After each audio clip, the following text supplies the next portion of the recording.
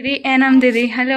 Hello. और यहाँ पे ना सभी लोग अपने बच्चों को हमने काम के साथ साथ ब्लॉग भी बन रही हाँ। और सबके सामने अपना काम भी कंटिन्यू रखना पड़ता है ताकि कोई ये ना बोले कि हाँ भाई ब्लॉग ही बना रहे हैं नहीं? और गाँव की महिलाओं को अगर आगे बढ़ने का मौका मिल रहा है मुझे यहाँ के यहाँ पर थोड़ा चेकअप के लिए आना है तो वहीं जा रही हूँ मैं और घास की कुछ भी जैसे हम गाँव से ब्लॉग बनाते हैं कैसा लगता है गाँव में अब इतनी आगे हो गई हमारी है ना हाँ पहले तो बोलने की हिम्मत नहीं पड़ती थी है ना हाँ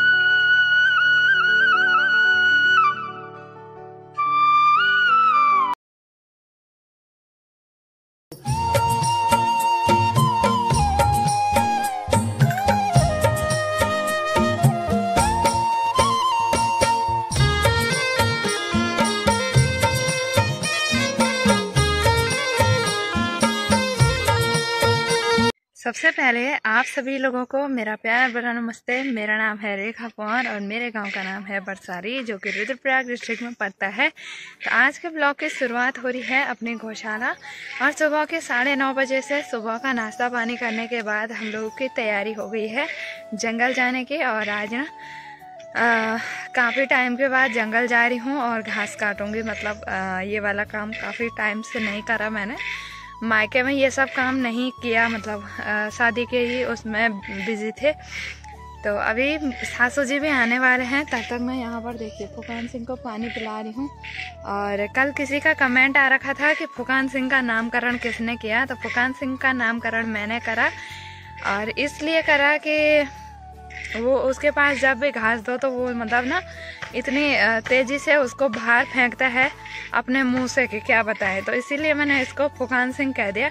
और जब भी जाओ, वो मारने की कोशिश करता है, फुए फुए करता रहता तो मैंने फुकान सिंह कह दिया उसको। और बाकी चलते हैं, मैं सुबह का अच्छा सा नज़ारा दिखा देती हूँ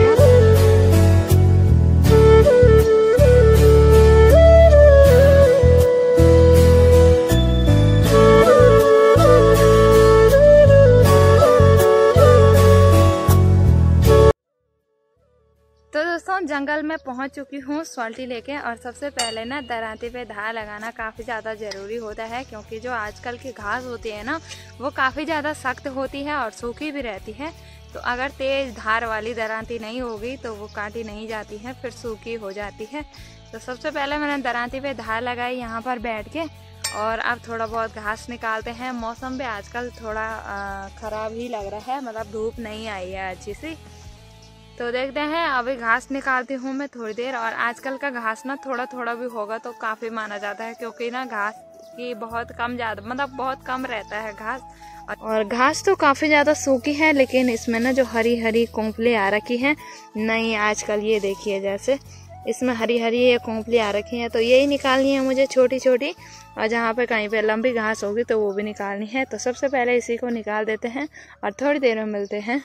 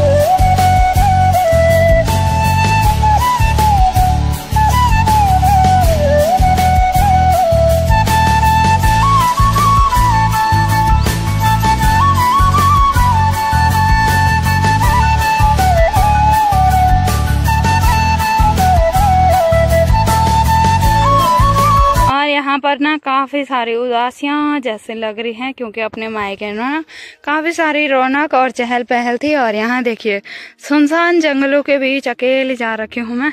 सासू जी उधर थोड़ा लकड़ी काट रहे हैं, बाकी मैं इन जंगलों के और पहाड़ों के बीच हूँ। और मायके में ना दिनों का पता भी नहीं चल रहा था कि कब दिन गुजर रहा है और यहाँ पूरा दिन ऐसा लग रहा है कि बिल्कुल उदास, बिल्कुल बहुत ज़्यादा उदासियाँ और कल से ना सब लोग चले गए हैं, मेहमान लोग। और काफ़ी ज़्यादा अजीब सा भी लग रहा है कि सब चले गए हैं, अब बेकार लग रहा है तो क्या कर सकते हैं? बाकी मैं अपने ब्लॉग को कंटिन्यू रखूँगी आप लोगों के साथ। आप लोग साथ और सपोर्ट दोनों दीजिएगा, ठीक है? तो थोड़ी देर में जब घास की सॉल्टी हो जाएगी, उसके बाद मिलती हूँ। बाकी दोस्तों, घास की सॉल्टी हो ही गई है। अब, अभी अभी मतलब जो हमारे आशा दीदी हैं, उनका कॉल आया कि यहाँ पर थोड़ा चेकअप के लिए आना है। तो वहीं जा रही हूँ मैं और घास की सॉल्टी आधा मतलब आधा तो नहीं, घास की सॉल्टी तो हो चुकी है बस थोड़ा और निकालना था, लेकिन नहीं निकाला। तो अभी मैं घर चलती हूँ, इतना ही लेकर, और अभी जाना है मुझे तुनटा। तो घर पहुँच के मैंने हाथ मुँह धोया और अपने रूम पे आ चुकी हूँ। तो थोड़ी देर में ना तैयार होने के बाद और रास्ते में मिलती हूँ आपको। तो चलिए दोस्तों, तैयार भी मैं हो चुकी हूँ। अब चलते हैं तुनटा की तरफ़। तो दोस्तों, तुनटा हमारे यहाँ से थोड़ी ही दूर है मतलब बीच में नदी है और यहाँ से जाने के लिए उधर तक है। बाकी अभी साढ़े ग्यारह का टाइम हो रहा है और मुझे अचानक जाना पड़ा क्योंकि उन्होंने ना चेकअप के लिए बुलाया है। तो मैंने कहा, यार, चलती हूँ क्योंकि काफ़ी ज़्यादा दूर भी नहीं जा रखी थी मैं जंगल तो अभी चलती हूँ मैं और वहीं से दिखाती हूँ आपको, ठीक है? रास्ता सुनसान है, थोड़ा अकेले जाने में डर भी लगता है मुझे। पर आजकल ना काफ़ी सारे लोग आए रहते हैं खेतों में तो उतना डर भी नहीं है। बाकी और किसी चीज़ का तो नहीं, लेकिन बंदरों का काफ़ी ज़्यादा डर रहता है रास्ते में। बस बंदर ना मिले और तो चलेगा। तो यहाँ से लगता है हमारे शिव जी का मंदिर, और यही वो मंदिर है जहाँ पर आजकल शिव पुराण बैठा था। जय भोलेनाथ, कृपा रखना अपनी। बाकी दोस्तों चेकअप वगैरह हो चुके हैं और ये है हमारी दीदी। हेलो आशा दीदी तो ना काफ़ी टाइम पहले भी आई थी मैं यहाँ लेकिन तब मैंने यूट्यूब पे अनाउंस नहीं करा था तो उसके बाद से मैंने नहीं बनाए बाकी दीदी लोगों ने चेकअप वगैरह कर लिए हैं। अब मेरी है घर जाने की तैयारी। ठीक है ठीक है बाय दीदी एनम दीदी हेलो हेलो और यहाँ पे ना सभी लोग अपने बच्चों को टीका और पोलियो पिलाने आ रखे ना। आज टीका है? टीका जी? हाँ ठीक है। हेलो और यहाँ पे ये दीदी और ये भी हमारी दीदी है आशा दीदी। हेलो हम दोनों। हम राम राशि अच्छा ये भी आशा है। ये है दीदी लावड़ी की। हेलो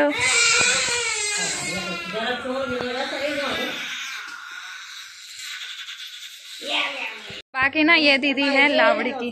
और कुछ बोलना चाहोगे आप हमारे ब्लॉग में? है? देखते रहते हैं आपके कुछ भी जैसे हम गाँव से ब्लॉग बनाते हैं कैसा लगता है आपको गाँव में अब इतनी आगे हो गई हमारी बहन है ना? हाँ। पहले तो बोलने की हिम्मत नहीं पड़ती थी है ना? हाँ। तो काफ़ी ज़्यादा मुश्किल होता है गाँव से ब्लॉगिंग करना और गाँव के लोग ना ज़्यादातर मतलब इन चीज़ों पे वो नहीं करते कि हाँ ये चीज़ें अच्छी है ना? सबको यही लगता है कि भाई काम से अलग छोड़ के और ये है कि सबके सामने काम के साथ साथ ब्लॉग भी बन रही हाँ। और सबके सामने अपना काम भी कंटिन्यू रखना पड़ता है ताकि कोई ये ना बोले कि हाँ भाई ब्लॉग ही बना रहे हैं नहीं।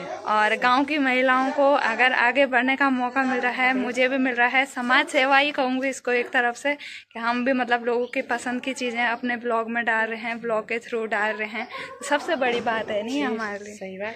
हाँ तो बाकी अब मेरी हो गई है घर जाने की तैयारी बाकी दीदी लोग तो कब जाएँगे पता तो नहीं। दो तीन हाँ तो चलो है? बाय मिलेंगे अगले दिन जब अगले चेकअप के लिए आएँगे हम लोग।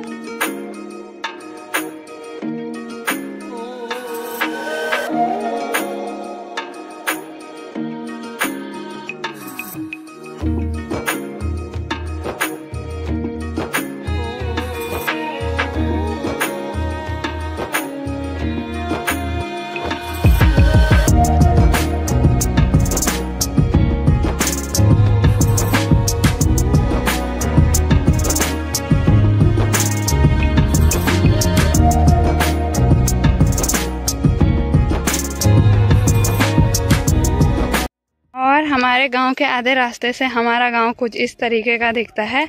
यहाँ पर हम ना सिर्फ़ चार ही परिवार रहते हैं, जो कि कुछ खास साफ़ तो नहीं दिख रहा, लेकिन बड़ा बड़ा अब बाकी दो चार, दो परिवार यहाँ पर रहते हैं। बाकी ये जो रास्ता है, वो आजकल नया ही बना है, ये वाला। और यहाँ से ना गेहूँ की खेती भी काफ़ी ज़्यादा सुनहरी और अच्छी लग रही है।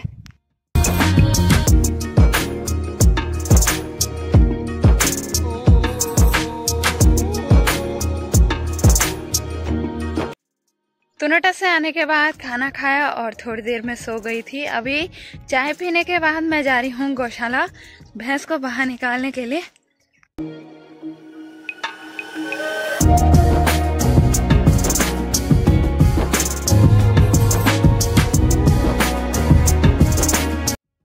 भैंस को बाहर निकालने के बाद मैं चल दी हूँ अपने बड़े बड़े से खेतों की ओर। और, और ये वाला जो सामने पे आपको पेड़ दिख रहा है इसी के बगल वाला हमारा खेत है जिसमें कि मैंने ना घास निकालने के लिए जाना है।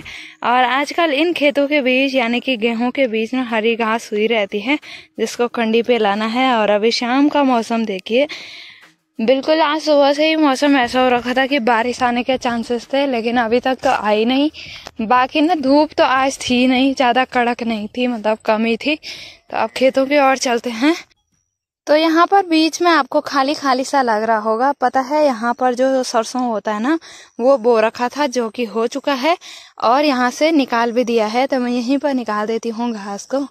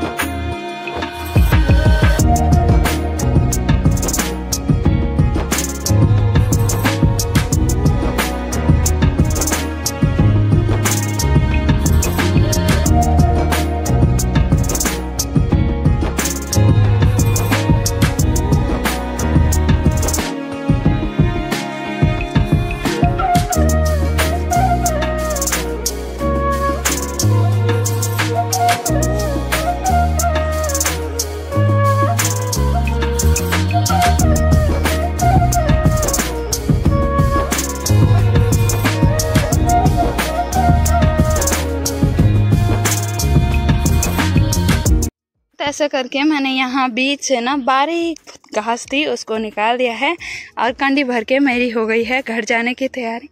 तो आज चलते हैं घर की तरफ़ और अंधेरा होने बैठ गया है थोड़ा थोड़ा